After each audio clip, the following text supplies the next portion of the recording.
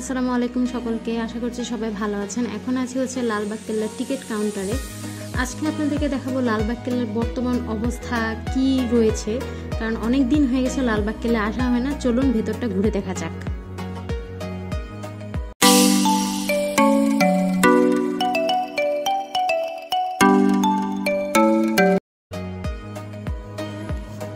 আমরা লালবাগ কেল্লার ভিতরে প্রবেশ করে গিয়েছি। এটি হচ্ছে লালবাগ কেল্লার যে সম্মুখ যে দৃশ্যটা, সেটা।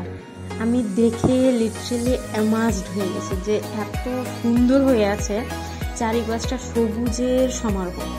আর আমি যতটুকু জানি বা অনেক আগে যখন এসেছিলাম, তখনও দেখেছি যে লালবাগ কেল্লার পুরো এরিয়াটাই হচ্ছে বিভিন্ন ফুল গাছ দিয়ে একদম বেষ্টিত করা। যেটা আমার কাছে খুবই ভালো লাগে। যারা হচ্ছে ফুল প্রেমী আছেন এবং গাছপালা প্রেমী আছেন, তারা একটু লালবাগ কেল্লায় ঘুরে যেতে পারেন। হ্যাঁ লালবাগ কেল্লায় হচ্ছে খুব যে না, অনেক রকমের গাছ আছে সেটা না, কিন্তু যতটুকুই আছে খুব ভালোভাবে মেনটেন করা। আমার কাছে খুব ভালো লাগে লালবাগ কেল্লা। আর আমি যখন এসেছি তখন হচ্ছে এটা হচ্ছে বর্ষাকাল, যার কারণে হচ্ছে চারপাশটা খুব সতেজ হয়ে আছে, ফুলগুলো খুব সুন্দরভাবে ফুটে আছে। আমি লিটারেলি বুঝতে পারছিলাম না যে কোন সাইড থেকে শুরু করে শেষ করব। কারণ পুরো এরিয়াই আমি যখন প্রবেশ করি, প্রথম দেখাতেই হচ্ছে আমি একদম মুগ্ধ হয়ে গেছি যে এত সুন্দর হয়ে আছে। আর বর্ষাকালে হচ্ছে চারপাশটা এমনিতেই খুব সুন্দর হয়ে থাকে, সতেজ হয়ে থাকে রঙিন হয়ে থাকে অনেকটা। লালবাগ খেলার অবস্থাটাও এরকমই যে চারপাশ খুব রঙিন হয়ে আছে।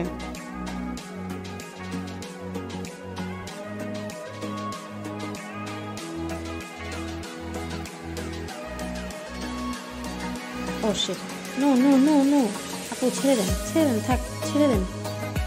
আপু, কি যেন কিনে রাগ হয়েছে, গাছের উপর যাচ্ছে আচ্ছা যাক যাই হোক, আমরা সামনে এগিয়ে যাই। আমার ডান পাশে যেটা দেখতে পাচ্ছেন, যে এটা দুর্গ রয়েছে, সেটা হচ্ছে পরিবিবির মাজার, আমি যতটুকু জানি। এই লালবাগ কেল্লাটা মূলত হচ্ছে অসমাপ্ত কিছু দুর্গ স্থাপনা নিয়ে তৈরি। আর এই সাইডের যে দুর্গটা দেখতে পাচ্ছি, এটা আসলে একটা জাদুঘর হিসেবে ছিল। এটার এখন হচ্ছে রক্ষণাবেক্ষণ কিছু করছে এটার হয়তো কোনো পুনর্নির্মাণ করছে বা কোনো কিছু একটা কাজ করছে। যার জন্য এটার ভিতরে প্রবেশ বন্ধ। অন্যগুলোতে যেগুলো আছে, ওগুলোতে আপনি যেতে পারবেন। মূলত ভেতরে প্রবেশ করা যায় না। এই দুর্গগুলো হচ্ছে অসমাপ্ত। তো এই সাইডটা যেটা এখানে রয়েছে অনেকটা সুইমিং পুলের মতো কিছু রয়েছে, কিন্তু পানি নেই পানি নেই, পানি না থাকার কারণ হচ্ছে অনেকেই দেখা যাচ্ছে ছোট ছোট বাবু নিয়ে আসে, তো ওরা যদি পানিতে বা এনি চান্স পড়ে যায়, অনেক বিপজ্জনক একটা কিছু হয়ে যেতে পারে। তা আমরা যখন এসেছি, তখন হচ্ছে অনেক রোদ ছিল, যার জন্য মানে মানুষজনরা এই আমাদের রাস্তাঘাটে নেই, যে হাঁটার যে জায়গাগুলো ওখানে নেই, সবাই হচ্ছে বিভিন্ন দুর্গের ছায়ায় বিশ্রাম নিচ্ছিল। তা আমরা হচ্ছিলাম যে মাথায় ছাতে করে হলেও ভালো ভালো ফুটেজ নিয়ে আপনাদেরকে দেখাবো।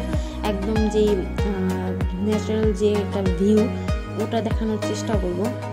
এই যে দেখুন দুর্গের ছায়ার মধ্যে সবাই বসে আছে। যে ছায়াটা পড়লে সবাই একটু ঘুরে ঘুরে দেখবে। লালবাগ কেল্লা আসলে আপনারা চেষ্টা করবেন যে রোডটা পড়ার পরে আসা।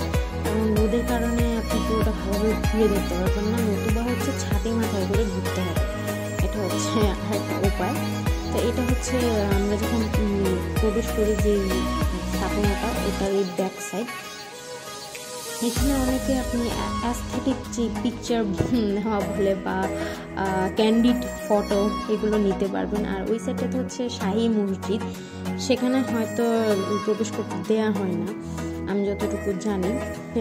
আমি আপনাদেরকে একটা নোট দিয়ে রাখতে চাচ্ছি যে আমি ভিডিওটা করেছি হচ্ছে বর্ষাকালে, যার জন্য হচ্ছে চারপাশটা খুব সতেজ হয়েছে, রঙিন হয়ে আছে সব কিছু মনে হচ্ছে যে খুবই সুন্দর। মনে হতে পারে যে ইডিট ইডিটের কারণে হয়তো খুব বেশি সবুজ লাগছে বা নীল লাগছে। আসলে ব্যাপারটা তা না। আমি একদম সানলাইটের ভিডিওটা শ্যুট করেছি এবং সময়টা ছিল বর্ষাকাল, যার জন্য হচ্ছে পুরো পরিবেশটাই মনে হচ্ছে যে একদম রূপকথার মতো, যে একদম সব কিছু পারফেক্ট কালারের এরকম মনে হতে পারে। আপনারা যদি বর্ষাকাল ছাড়া অন্য কালে আসেন এবং দেখেন যে ফুল তো মরে রয়েছে বা ফুলগুলো ধূসর হয়েছে গাছপালা ধূসর হয়েছে আকাশটাও এরকম না, তখন কিন্তু গালাগালি করলে কোনো লাভ হবে না। কারণ বর্ষাকাল মানে হচ্ছে চারিপাশে একটা সবুজের একটা খেলা থাকবে, সতেজতা থাকবে, মুগ্ধ বাতাস থাকবে মনোরম পরিবেশ থাকবে। এখানে হচ্ছে একটু বৃষ্টি হয়েছিল, আমরা আসার আগে তখন পানি পড়েছিল আর এই সাইডটাতে, এই সাইডটা হচ্ছে আমার অনেক পছন্দের একটা সাইড এই সাইডে আগে গোলাপ ফুলের বাগান ছিল কিন্তু হতে পারে যে গোলাপ ফুলগুলো টিকিয়ে রাখা অনেক কষ্টকর, যার জন্য এখন নতুন ফুলের বাগান করা হয়েছে। নতুন ফুলগুলোর নাম আমি আসলে জানি না, যদি আপনারা জানেন তাহলে আমাকে কমেন্ট বক্সে অবশ্যই জানাবেন। এই সাইডে আছে আপনি, এই সাইডটা যেটা, এদিকে কোনো স্থাপনা নেই, এটা হচ্ছে একদম প্রাচীরগুলো, যে উঁচু উঁচু দেয়ালগুলো যেগুলো, ওগুলা। আমি বললাম না, আজকে হচ্ছে বেসিক ধারণা দেওয়ার জন্য কোনা থেকে কোনা ছুটে বেড়াচ্ছি।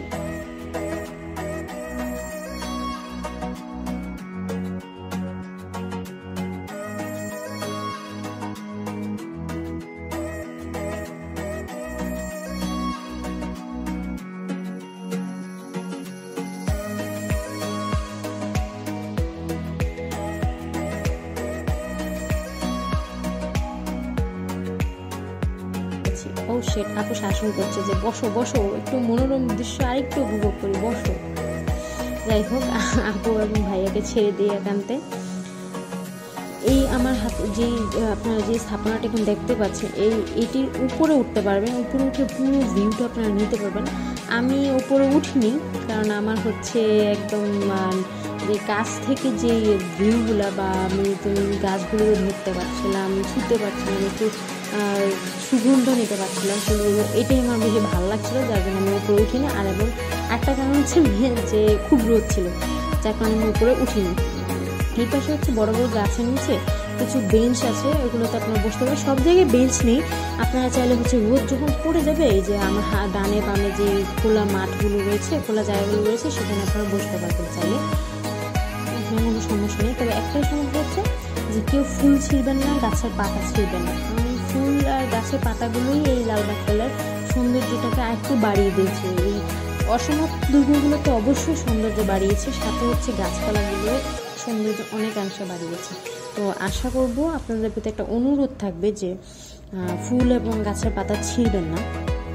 এই সাইডটাতে আপনি এই যে ছোট ছোট দরজা ফটকের মতো যে রয়েছে, এখানে দাঁড়িয়ে আপনারা চাইলে অনেক ছবি তুলতে পারবেন এবং এখানে সেটা খুব বড় একটা মাঠ অনেক নিচু, গভীর, একটা ছোট্ট মামনিকে দেখছিলাম সাতা বড়ির মতো দোল দোল করে, গোল গোল করে ঘুরছিল। আমিও ভাবছিলাম যাব, কিন্তু দেখে যে না, অনেকটা নিচু আর যাওয়া হয়নি।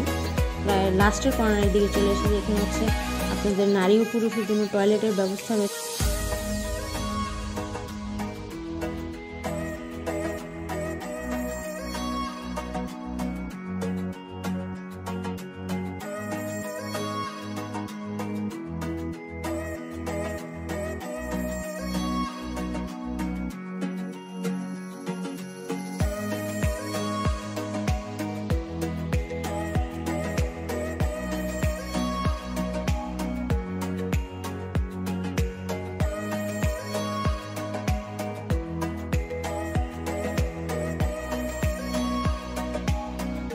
লালবাগ এরিয়া পুরোটাই ঘুরে ফেলেছে। এখন কিছু গুরুত্বপূর্ণ বিষয় আপনাদের সাথে শেয়ার করতে চাই।